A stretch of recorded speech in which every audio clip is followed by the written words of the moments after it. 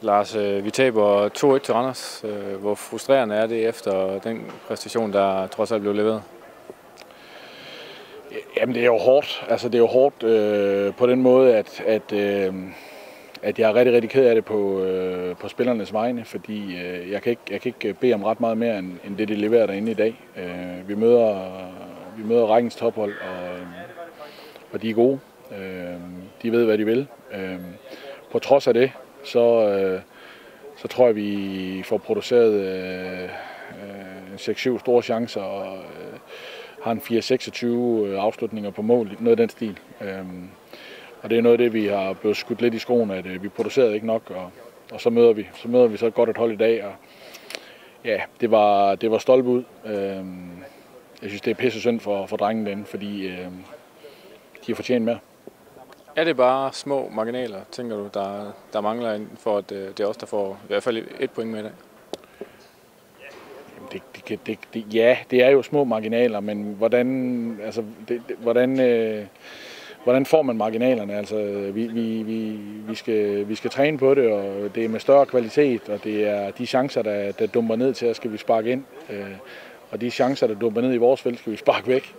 Øh, altså, de, de har en enkelt løs bold, der ryger ind i feltet mellem to af vores bank, så, står det, så, så ligger den i kassen, og, og vi har nogle stykker, der danser inde omkring, og nogle af dem kommer vi ikke engang ind til.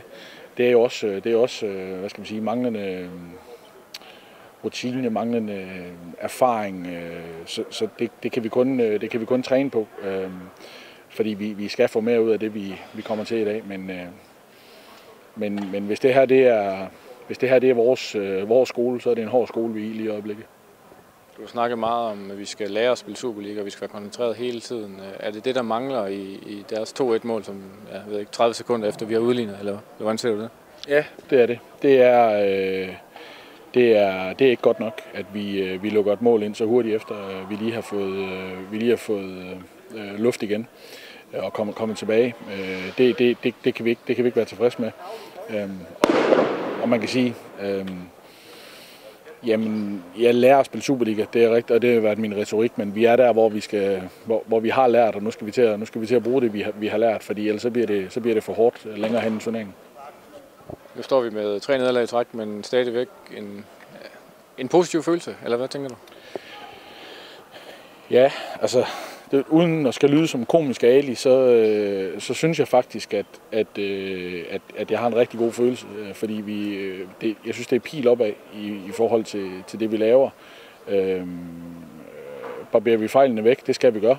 Øh, men, men, øh, men ja, øh, selvfølgelig skal vi have, selvfølgelig skal vi til at have nogle point på kontoen. Men, øh, men, men vi, kan ikke, vi kan ikke øh, gøre noget ved resultaterne, vi kan, vi kan gøre noget ved præstationerne. Og så længe præstationerne er i, øh, i top hver eneste gang, og vi flår hjertet ud og ligger herinde og gør alt, hvad vi kan, jamen øh, så skal det vende på et tidspunkt. Øh, resultaterne, det, vi, vi, vi, vi kan spille godt og tabe, øh, og det synes jeg i dag var, var et godt billede på.